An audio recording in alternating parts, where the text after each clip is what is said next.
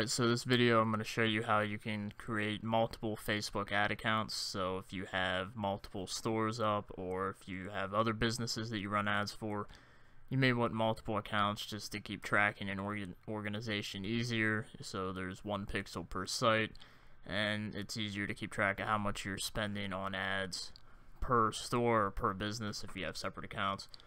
So the first thing you're going to need to do is create a Facebook business manager.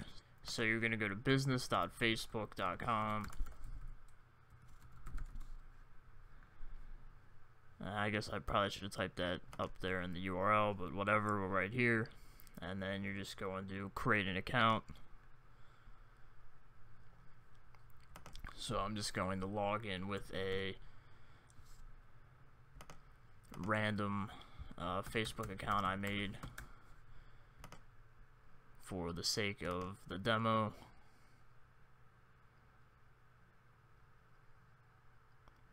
So once you're logged in, you can see I'm logged in here on the uh, demo account. So I'm just going to create account, business name, business name. Uh, we're just going to go with anything here. Cool business. Continue, and you're going to fill out uh, this stuff. I guess I have to put in one in here, so.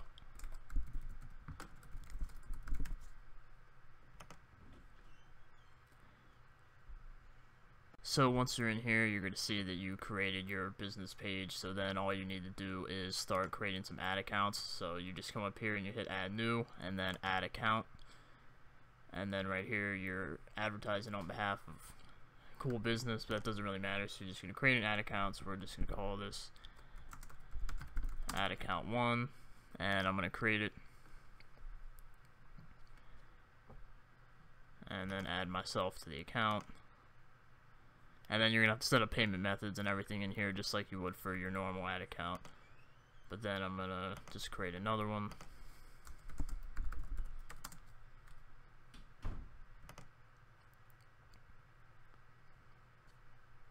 And then I'm just gonna skip by this so there we go, I've just created ad account 2. And then if we go to ad account overview,